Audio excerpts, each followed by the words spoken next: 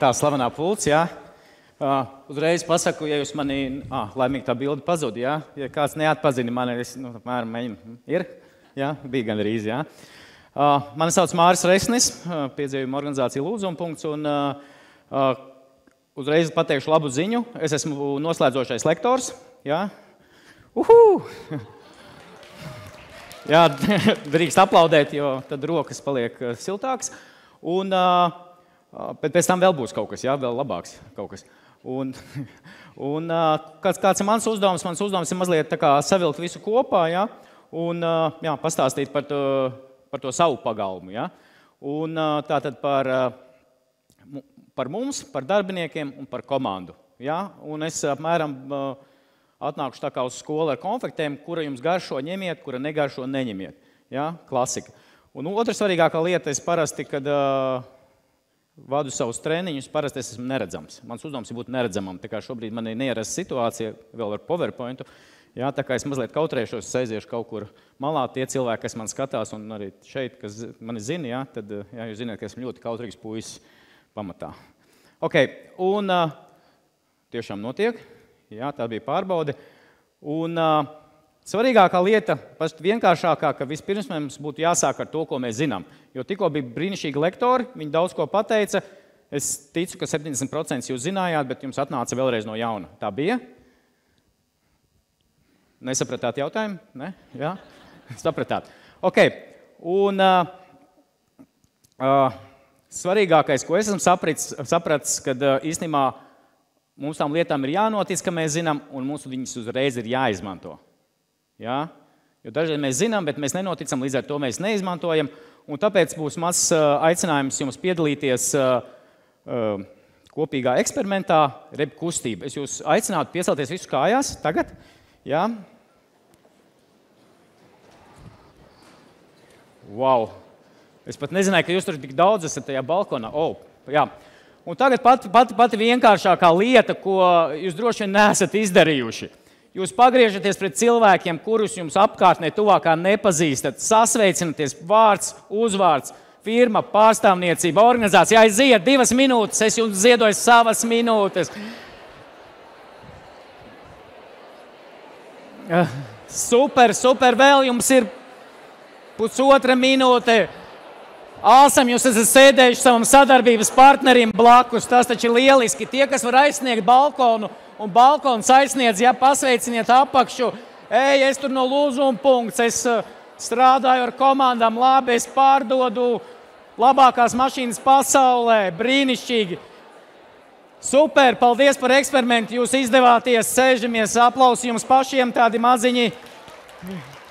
Jūs neticēsiet. Es domāju, ka, nu, es nezinu, cik procentu, bet lielākā daļa par to domāja, kas jums sēž blakus vai ne. Un, bet nenoticējāt, ka tas ir normāli. Eju ko viņš grib no manis. Viņš jau man laikam sasveicināties, grib briesmas vai ne? Nē, nē, visu to, ko zinām, uzreiz izmantojam. Ja? Un vēl viena svarīga lieta, ko es zinu, arī dažreiz man dzīvē gadās vadīt konferences, nu, tādas privātas un, un svarīgas arī. Uh, un uh, tad esmu pamanījis arī vadītājiem, ka īstenībā viena tāda, nu, varbūt ne ļoti priecīga ziņa. Uh, es tagad gribētu uztaisīt testu arī, bet uh, tagad, nekas, tagad tikai pamaiet galvu, jo nevajag uzreiz, uh, kā saka, izrādīt sevi. Šitā ir jā, tā ir nē, nezinu un nesapratu jautājumu. Ja? Tad kuri no jums ir vadītāji? Vienalga dzīves vai savas organizācijas vai departamentu? Ja, nav jāceļ roka, neidentificējiet sevi. Tūlīt būs uzdevums, triks tur visur ir. Ja? Okay. Un uh, lieliski. Cienījamie vadītāji un tie, kas savu dzīvi vada, nu, jo jūs arī esat vadītāji, jums ir visvientoļākā profesija pasaulē. Vai ne? vis, visvientuļākā. Tāpēc, ka komandu jūs varat atbalstīt līdz kaut kādam maksimumam, bet vienā brīdī viņi jūs nesapratīs. Un vienīgā lieta, kur jūs varat gūt atbalstu vai iedvesmu vai kaut ko mācīties, ir citi vadītāji. Ja? Gudrā valodā vienaudžu izglītība. Ja? Līdz ar to jums tagad jāatrod kāds cilvēks, kurš jums ir blakus, vienalga kurš, pazīstams, nepazīstams. Un, eh, ja jūs varat uzdarīt šādu darbību, Eh, mazos pirkstiņus salieciet kopā. Tas ir tikai tā, lai tiešām, nu, kā skolās sadalījāties. Jā, a, kur tavs partneris? Nē, nav. Nu, tas ir klasika. Jā, es esmu iemācījies 17 gadus neticēt cilvēkiem, ticēt tikai to, ko viņi dara. Ir, jā, lieliski. Jā, un tāpēc zināšanas. Un zināšanas, diemžēl, jums nebūs nekas jāpieraksta. Jums ir roka, cerams, jā. Tiem, kam nav, izdomājiet. Jā. Tātad svarīgākie ir divi pirksti - īkšķis un mazais pirkstiņš. Otram cilvēkam rādiet īkšķi un runājiet par tām lietām, izstāstiet vienu lietu, ko jūs kā vadītājs vai dzīves vadītājs darat labi. Tiešām savā darbā, jūs, ko jūs darat labi? Un mazais pirkstiņš, jā, jā, to, ko jūs visus šodien dzirdējāt, viena lieta, ko jums aizķērās un ko vajadzētu jums attīstīt, vai kas jums palīdzētu attīstīties un pilnveidoties. Jā? Lieta, ko darat labi vispār, jau, jau darat, un šī lieta no šejienes, nu, kas aizķērās, rektors Kudras bija. Ot... vajadzētu būt, nu, jūs sapratāt, kurš. Ja? Jā, nu, baigi labā lieta. Vajadzētu attīstīt. Divas minūtes tikai, viena minūte vienam, otru otrā. Aiziet, stāstiet. Beidzot, iespēja parunāt ne tikai.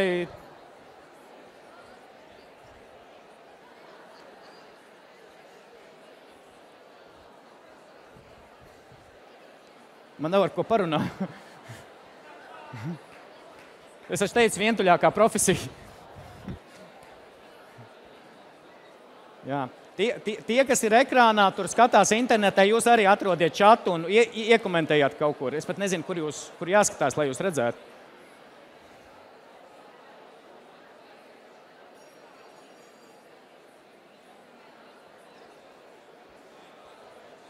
Ah, man te, te, te ir pulkstenis.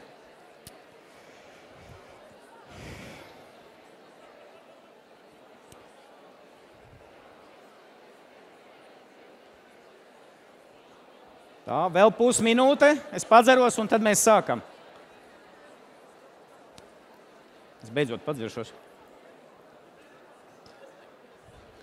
Ir, ir jābūt piedošana, piedošana, piedošana, pārtraucu pusvārdā. Es zinu, vainīgs, vainīgs. Šāds zaļais mežs. Ok, paldies. Koncerts tomēr šeit arī var būt. Okay, uh, nu, kā, kā jūtaties, kā ir? Labi, vai ne? Forši pastāstīt un noticēt, ka tomēr jūs arī kaut ko darat labi. Nu, kaut kas vēl jāattīst, bet principā ar jums viss kārtībā. Nu, tāpēc, ka jūs darat labi. Un šis ir viens no, no uzdevumiem, ko, ko es mēģinu darīt arī ar uzņēmumiem, ar uzņēmumu komandām, kad es dodu iespēju cilvēkiem parunāties. Jūs neticēsiet, uzņēmumi man dažreiz maksā ļoti daudz naudas, lai viņi varētu parunāties. Es nesaprotu, kāpēc viņi paši to nevar izdarīt, bet es saprotu, kāpēc cilvēki iet uz sporta zālēm, jo viņi taču tāpat varētu sportot, vai ne? Bet kaut kā tā struktūra vai disciplīna tiek iedota tajā sporta zālē. Tur kaut kas, kaut kas ir. Un tāpēc arī, jā, ja jūs gribat, lai kaut kas uzņēmumā neiet, jā, tad sasēdziniet cilvēks pie viena galda. Nebūs tik vienkārši savākt visus cilvēkus vienā vietā, vienā laikā, jā, un tad parunāt. Jā.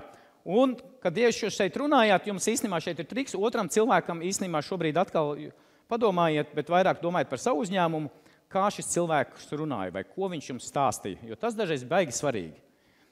Un, uh, nav pieklājīgi darbinieks ielikt kastē, bet kaut kur viņi jāliek. Nu, tā. nu, kaut kā viņus jāgrupē, lai jums neaizietu. Jā, jo šobrīd ir uzskats, ka cilvēks ir vispusīgs, viņš viņu nevar ierāmēt. Tomēr viņus kaut kā jāklasificē. Un es piedāvāju, Kristīna man nav samaksājusi, uzreiz pasaku, ja, ja jūs zinat, kur viņi strādā. Un mēs sākam. Vordi, darbinieks, vords. Ja jūs arī sekojat sevi līdzi, jūs arī esat uh, darbinieks savā firmā vai savā. Ja? Tie tie cilvēki, analītiskie teksti, kas sūta ēpastus ar nenormāli gariem aprakstiem, ja? ar procedūrām, ja? kur runām, sarunām. Vienīgais, ko viņi var atļauties, dažreiz sarkanu tekstu, ja jūs esat viņus satracinājuši. Ja? Pas, U, tāds būtniņš tur ir funkcija, ja, kad var pasvītrot tekstu, un te jūs viņu grupējat, tad ir bullet pointi. Ja? Nu, tie ir šie tipa darbinieki, vai jūs esat šī tipa vadītājs. Un, lai būtu mazliet arī mazliet, uh, tests, uh, kuri e, domā, ka viņi ir vordi. Paceliet kūlāku, ne, tad kā revolūcija. Mēs, kuri domā, ka viņi ir vordi, vēl nesam, nu, pamēģinām, pastāvēt. Tas vairāk fiziskai darbībai. Ne, tik maz vordi, nu, pareizi, tāpēc jūs neesat darbā pārējie, tāpēc, ka vordi visi strādā pareizi. Bet nekas, es zinu, ka nākošie man mīļākie arī esam Excel. Skaitļi, jā, vai ceļam kreiso, aidā. Jā, protams, nav pārsteigums. Ok, tālāk. Peinti, labā ziņa. Peinti, paceļam rokas. Jā, peinti tie, kuri ir bildes, iedvesmojuši, forši, arī vadītāji, ja no viņiem neko, neko nesaprot. Dažreiz viņi iebraužās kā viesuļi, pasakā, ir jauna ideja, maucam un aiziet, un visi ekseļi paga, paga, bordi. Kur, jā? jā? Bet viss kārtībā, viņi ieskries otrais, tad pateiks. Viss labi. Ok, jā, un priekš jums labā ziņa. Mums viens rīktīgs PowerPoint, kas zīmē apakšā to zīmējumu. Tā ir Dāca Andersone. Viņa tagad noslēpusies, parāda zīmējumu. Jums nekas nav jāpieraksta. Viņa jau visu zīmējumu tur ir sazīmējusi. Jā, tur pie viņas var pasūtīt. Tas ir PowerPoint. Un tad ir ceturtā programma. Kurš zina ceturto? Kura programma? Jā, bet kur tā ir bišķi pat pa traku, tā ir pat traku. Kur? Pilnīgi pareizi, tas ir pēļņas labākā programma tajā, tajā sistēmā, jo tev tur nevar kaut ko Photoshopā ielikt, nu, tajās Wordos, Excelos vai nedodas PowerPoint. Paints vienmēr izglābi. Vienmēr var izgriezt bildes no interneta, uztaisiet print screenu, ja ziniet šo monkey stēlu, kas viņu sauc. Ja nevar, nu, Paints vienmēr izglābi. Ja? Tad šos cilvēkus vai vadītājus jūs nevadat. Kas ir svarīgi? Paints vienmēr palīdz, bet viņš nav tāds, tāds redzams vai populārs. Bet kas ir interesanti manā pieredzē, Painta tipa vadītāji mūsdienās sāk kļūt populārāki priekš milēnijumiem. Viņi nav redzami, bet viņi ir tad vajadzīgi, tad, kad viņi ir vajadzīgi. Ja? Un viņi tad ir. Ja? Un tas ir baigi interesanti, kā mainās tā vadības sistēma. Ja? Jo mums parasti ir vekseļi svarīgākie. Ja? Sasniegt 20% pieaugumu, 2 miljonus. Nedod Dievs tādas peļņas. Okay. Un uh, tad jautājums, ko mums ar šito visu? Jo jūsu komandā noteikti ir vairāk dažādi tipi, noteikti viens ir noteicošais vai ne. Un, uh, Kas jums ir jāsaprot? Ja jūsu komandā ir šādi tipi cilvēki, kad cilvēki seko cilvēkiem, respektīvi jums viņi seko, vai jūs kādam vadītājam sekojat, ja? viņi neseko īsti kompānijai. Viņi seko jums, un jūs to ziniet. Un, ja mēs skatāmies uz komandām, komandas seko saviem vadītājiem. Ja? Tas tur korelējās ļoti, ļoti skaidri. Ja? Un kas ir interesantākais, te jau bija pieminēts piemērs par bērniem darbinieki vai jūsu komandā cilvēki, ja jūs esat vadošais, viņi neklausās, ko jūs runājat. Viņi skatās, ko jūs darat. Ja jūs kavējat sapulces, ko darbinieki saprot?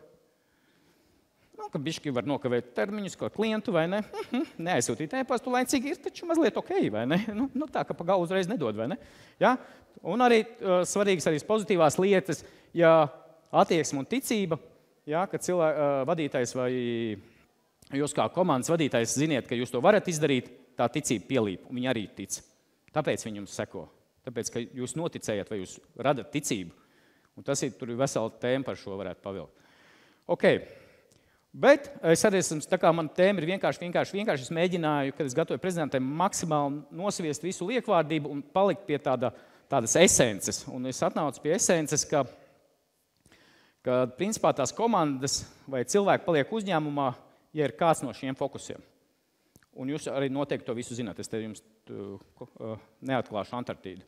Ja? Mērķa fokus. Jūs paši varat filtrēt līdzi, vai jūsu organizācija ir uz mērķa orientētā, uz mērķa fokus. Tā tad ir mērķi, uzdevumi ļoti skaidri nodefinēti lietas. Un tad padomājiet, kāda tipa cilvēki jums ir, ja, kuri strādā. Ja? Jo dažos uzņēmumos, piemēram, ir tikai mērķiecīgi. Ja tu viņiem neiedod mērķi vai uzdevumu skaidru, viņi ar tevi nerunā. Nu, Nav jēgas ar tevi runāt, ja tu nenofokusēsi. Otrs, kas ir interesantāks, īstenībā mēs diezgan daudz strādājam ar programmētājiem. Nu, interesanti komunikācija. Ir ļoti interesanti. Nu, pēc trīs gadiem ir komunikācija, pirms tam ir tikai saruna. Ja? okay, un uh, fokus uz procesu, uz darbību. Tur kaut kas notiek. Un tie cilvēki ir tāpēc, tikai tur, tāpēc, ka tur kaut kas notiek. Nav svarīgi, kas. Vai sasniegt 50% pieaugumu vai pārdot 25 vienības 20 gados, nav svarīgi. Viņiem galvenais ir kaut kustība. Un ir vēl organizācijas, un tas arī šobrīd jau, kā jūs redzat, kļūst svarīgs, ja? cilvēku fokus. Kad organizācija ir veidota nevis lai gūtu peļņu, bet lai palīdzētu vai nodrošinātu cilvēku, darbiniekus. Nu, viņu tā kā cilvēks ir svarīgākais. Tas parasti gan sabiedriskajām organizācijām dažreiz svarīgi, bet arī biznesam, sociālā uzņēmējdarbība, ja?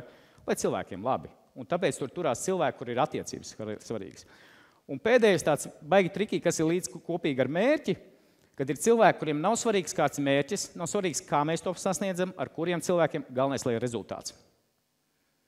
Un tas ir svarīgi, kad, mēs, kad jūs runājat ar šiem cilvēkiem, kad viņi prasīs, ko mēs ar to izdarīsim vai ko sasniegsim. Jūs sākat ar rezultātu, un tad viņi ar jums ies kopā. Ja organizācijai nav rezultātu, viņi iet prom no turienes. Tas viņus nesaist. Ja? Nu, protams, ka skaidrs, ka cilvēki nav tīri, viņiem ir vairāk fokus, bet viens ir dominējošs. Tomēr, tomēr jautājums, kā to visu savākt kopā, kā apvienot, kā vadīt un kā palikt uz vienas takas.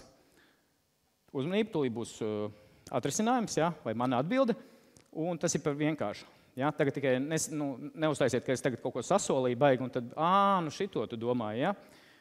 Nu, šis ir mazliet savādāks. Tā ir miedarbība un bērze. Respektīvi, kā cilvēki miedarbojas un kā jūs miedarbojaties ar uh, saviem darbiniekiem vai ar uh, citiem cilvēkiem. Un otrais ir attiecības.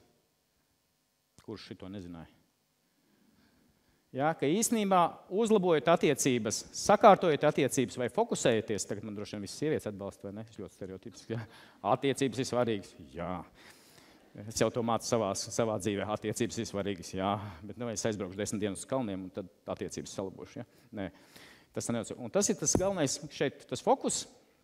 Ja, kad jūs vienkārši kopīgā sarunā Excelus, Wordus, Paintus, PowerPointus savācat kopā un runājiet. Kā jau teicu, cilvēki nerunā ar cilvēkiem. Mans uzdevums ir savākt cilvēkus, lai viņi parunā savstarpēji. Un dažreiz gads paiet, kamēr mēs dabūjam kopā, lai jaunākais vadītājs runā ar vecāko vadītāju. Viņi, viņi nerunā vienkārši. Ja? Un tāpēc mūsu uzdevums ir, lai viņi vienojās vienkārši kopīgā sarunā. Ja? Tagad padomājiet, uzņēmumā, ar ko jūs visvairāk nerunājat. Ir tāds cilvēks, nesapratu jautājumu. Ko tu, gribi, ko tu gribēji ar to jautāt? Uzmanīgi. Ja? Okay. Un reka ir formula. Un es ātri pateikšu to formulu, un formula ir pavisam vienkārša. Arī būs pārsteigums, ka viņi ir tik vienkārši, un tāpēc mēs viņai neticam. Pirmais ir ieklausīties. Jo jūs zināt, ka informācija vispār tagad pasaulē, un sevišķi internetā, ziniet, ir internets. Ja? Protams, ka jūs zināt, var klausīties daudz ko, var meklēt daudz ko. Bet šeit jūs ieklausāties, ko darbinieki runā, ko viņi dara kafijas pauzēs. Nevis noklausāties, bet ieklausāties. Ja? Ja, tur noklausīšanās ierīces pie manas drauga, es pat, pateikšu pēc tam telefonu, tur vienkārši viss. Ja, ieklausieties, ko viņi runā, kāds ir noskaņojums, kādas ir sajūtas, ar ko viņi to runā. Tas ir, tas ir baigi trikīgi. Tāpēc, ja jūs tikko kādam paprasīsiet, nedod Dievs tādam cilvēkam, kas ir jau kādu laiku klusējis, ja, ja, tad, tad vienkārši divas stundas kā vadītājs jums bāc, man stunda maksā 2000 eiro. Bāc, nu, jāklausās, Mārcis teica, attiecības svarīgas. Ja, nu, klausos. Ja. Ne, jau, ieklausies, vēl par neko nejautā. Jo Tad jūs sākat runāt vai uzdot jautājumus cilvēkiem. Protams, par tēmu, kas ir svarīga jums, jūsu uzņēmumam, jūsu produktam un varbūt arī jūsu komandai. Un tad svarīgi, kad jūs klausāties atbildi. Klasiskais komunikācija triks. Nevis klausāties, lai sagatavotu atbildi un atbildētu, bet klausieties tiešām, ko viņi runā. Ja? Un tad pēc tam jau filtrs, kas tas notiek, un tad pats svarīgākā lieta ir rīcība. Ja? Vistrakākais, kad es biju jaunas politikā iekšā, man nepatika, man veselu gadu mēs apkopojam viedokli. Ja? Vai uzņēmumos tas droši vien ir uztaisīsim aptauju par kaut ko. Mhm. Cilvēki cītīgi aizpildīja. Ja? Un, nu, paldies. Forši. Jautājums, kas notiks, ka būs otrā aptauja pēc pusgada? Jā, šī tas būs. Kāpēc tikai 30% atbildēja? Hmm, nezinu. Ja? Jums ir jārīkojas, vai jāpasaka, ka mēs visus viedokļus apkopojam, mēs šobrīd sāksim ar to un to, mēs ar to darīsim to un to, un sāciet darīt. Ja? Jo cilvēki, atcerieties, tic tikai rīcībai. Viņi nekad netic vārdiem. Ja? Nu, pēc gada vai diviem. Ja? Tā kā rīcība ar to, ko jūs izdarījāt, ir ļoti, ļoti svarīga, un tas ir svarīgs jūsu komandai, ka viņi redz, ka jūs to ņemat vērā. Man ir šausmīgs arī atziņa, ja jūs negribat ņemt vērā, vienkārši ko darat? Vienkārši nejautājiet. nu, nejautājiet, ja jūs negribat dzirdēt vai izmantot to. Nu, nevajag, ja? Izvērtēšanas arī nevajag taisīt, ja jūs izvērtēšanas rezultātus tālāk neieklieciet tālāk attīstībā. Nu, nevajag, nelietojiet to laiku lieki. Ja? Un tāds īsts kopsavilkums, un tas ir varbūt ir novēlējums arī pēc šitiem, šiem visiem skaistajiem, nu, ne tikai skaistiem, bet arī gudrajiem un vērtīgiem runātājiem. Ja? Un to es arī baigi grūti, nu, man bija noticēt, bet es noticēju to, ka Nav nozīmes, ko jūs ziniet, nozīme tikai tam, ko jūs izmantojat realitātē. Jo tikai to, ko jūs izmantojat realitātē, jūs ziniet. Šausmīga atziņa, tāpēc, ka jūs padomājat, ko jūs reāli izmantojat, to, ko jūs zinat, vai saucamo savu pieredzi. Bija vairāk, eh, liels vairums, kam ir 40, ja, un pacēla roku. Es gandrīz, bet ne. Ja, jums, draugi, ir jau pietiekoši daudz pieredzes. Jūs varētu vadīt valsts ar savu pieredzi. Bet tā, tā, tie māli sākās tur, ka jūsu trauks jau ir gandrīz pilns. Un, ja jūs gribat pilnā traukā kaut ko ieliet, kas jādara? Kaut kas tieši tā jāizlai. Ja? Tas nozīmē, jādara kaut kas savādāk, citādāk, jāieklausās viedoklī, kas ir pretējs jūsu viedoklim, jādara, ko jūs agrāk domājat, ir par šo tiešām filmē. Ja? Sviests, ja? piemēram, es agrāk domāju, ka tango dejot ir diezgan nu, cita nodarbošanās, respektīvi, viss šomēnes nolēms iet dejot tango. Paskatīties, cik liels tas ir. Ja? Nu, jo man liekas, tas ir pretēji manām vērtībām, bet tas ir tas, ka es izlēju ārā, pateicu savu to viedokli un viss. Un te ir pēdējā lieta, kad tas novēlējums, kad zināšanas drosmīgi uzreiz lietojam, tad tikai redzam, kāda ir realitāte. Un, un, un tagad būs saldējiem mēdieniem, ja bonusā mana labākā lieta, ko es 17 gadus strādājot komandas veidošanā un strādājot ar cilvēkiem, esmu pienācis. Un tā atziņa ir par pieredzi. Un tas ir uh, arī ceļavārdi jums, un arī jautājums par jūsu fokusu. Un tas ir ka cilvēki visefektīvāk mācās no savas smagās pieredzes, respektīvi no kļūdām, tur, kur emocionāli viņi dabūjuši iekšās. Ja, jūs zināt, ja, ja jūs kādreiz esat uztaisījuši kampaņu vai pārdošanas programmu vai, vai sapulci novadījuši slikti, jūs tā esat dabūjuši iekšā, ka pēc tam pusgadu to atceraties, nu, īstenībā piecus gadus vai desmit. Bet kas ir interesantākais, ka jūs atkārtojat, dabiski atkārtojat visveiksmīgāko pieredzi. Un tas notiek neapzināti. Jūs, ja jūs esat, piemēram, es esmu pagājušajā gadā pārdevis trīs lielas, dārgas savas programmas uz rūtiņa lapas. Vienkārši vadītājs teica, Mārtiņ, man atsūtīja trīs e-pastus, neko nesapratu. Atnācu satikties. Atnācu, noliku rūtiņu lapu, uzzīmēju ar pildspalvu. Šitā būs. Ah, nu, ko tu uzreiz neteici? Ja? Opā. Un tagad es šogad domāju attīstīt šo prasmi, zīmēt uz rūtiņa lapas. Es pārdevu. Ja? Tā kā lai jums uh, izdodas uz to fokusēties, kas svarīgi, bet, protams, es jums novēlu riktīgi fokusēties tas, kas jums sanāk un veiksmīgo pieredzi. Jo mācīsieties jūs tāpatās no savas smagās. Paldies, esmu runājis, lai jums forša diskusija un vakars. Jā. Mārim vienkārši patrāpījās peinta vadītājs pretī. Peinta vadītājs tev patrāpījās pretī. Ah. Nu, tas ar to rūtiņu lapu peinta vadītājs patrāpījās. Ah, peinta vadītājs, man liekas, Excel vadītājs. Jā. nu, es nezinu, es viņam varu paprasīt. Izskatījās pēc hashtag. Dāmas un kungi, Mārcis Resnis. Aplausos vēlreiz. Jā, paldies.